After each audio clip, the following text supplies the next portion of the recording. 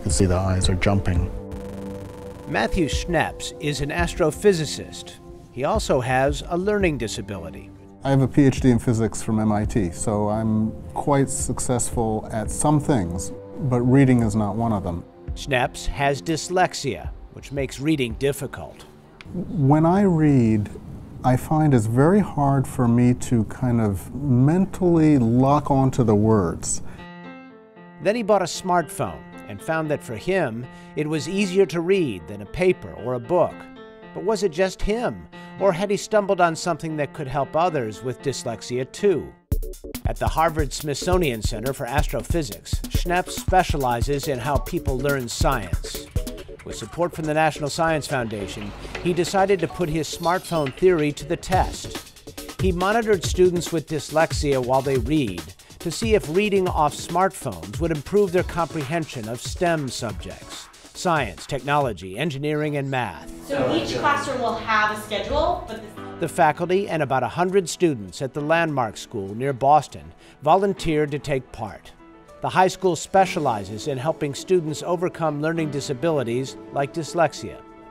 In an initial test that pitted reading off paper against reading off a smartphone, Schneps found some, but not all students read with greater comprehension off the device. Soon after, he did another round of testing using an eye tracker. This is the camera for the eye tracker. He and his colleague, Amanda Hefner Wong, demonstrated for us how it works. This is the motion of the eyes over time, and the red is where she blinks.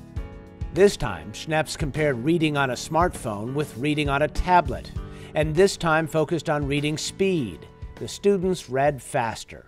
I found that it was a lot easier to keep track of the words on the lines.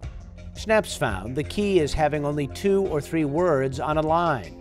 And what we're saying is that people with dyslexia tend to get distracted by the words on either side, and even though they're looking at the word, their attention is going elsewhere. In my opinion, the iPod is a lot easier for me to read off of than the book. Not all students with dyslexia benefited from reading off a device. Schneps says the next step is to determine why that is and which students will be best served ditching the books for a better alternative. For me, the name of the game is to try and level the playing field, to make reading something that's not an impediment to success. We already know kids can't seem to put their phones down. Now it seems at least some of them may have a really good reason for being glued to their screens. For Science Nation, I'm Miles O'Brien.